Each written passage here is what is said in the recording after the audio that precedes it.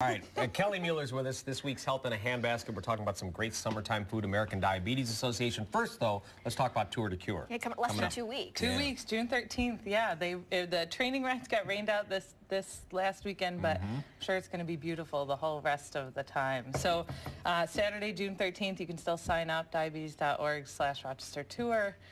13 Wham has a Yeah, team. you just right? want to mhm. sponsor, you can sponsor our 13 Wham team Yeah. up at mhm. Xerox this year. Yeah, it's going to be great up along the lake. It's So- going to be perfect summertime fun, so Let's we'll have so. a lot of summertime treats there. Let's talk about summertime treats. Yeah, so I brought kind of the, the oh, ideal Oh, you bring some of that dip? spread. Yeah.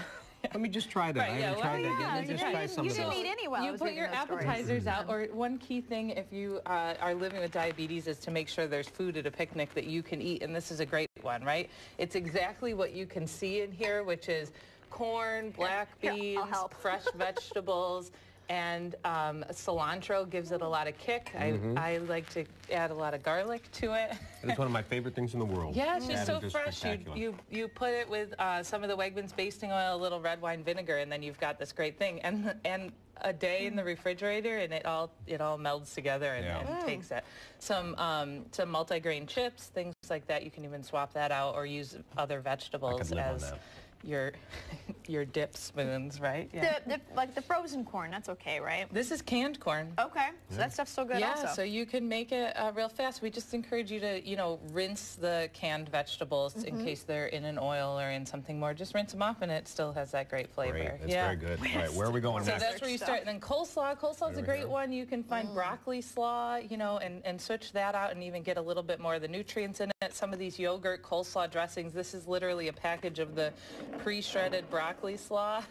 and then the uh, Wegmans coleslaw yogurt dressing. Find the dressing, right? Mixed together. This was made yesterday, so it gets comes together a little a little um, more the next day.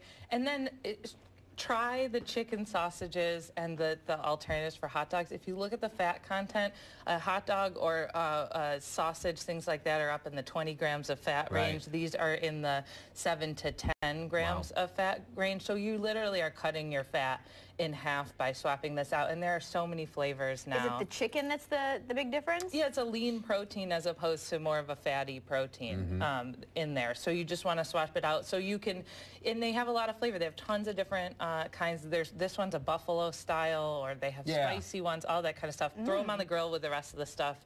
You're still eating it. Uh, Turkey sausage too, right? Turkey sausage, Okay. yep, yep, it's just What great. So here? this is a this is a low carb version of sangria. I didn't add the what do. alcohol for you all this morning, Mm-hmm. but um, you could make it with a white wine, um, a, a drier white wine, uh, and then it's got club soda. Crystal Light adds a little bit of the Oh my juice. gosh, it yeah. smells delicious. Yeah, and then you can throw in some fruit and you have a great summertime drink like that. You're going to cut your alcohol content by mixing it with Cheers. some of those things, which is always always a better thing because alcohol metabolizes to sugar very quickly. Mm, You know what this Yeah. goes great with?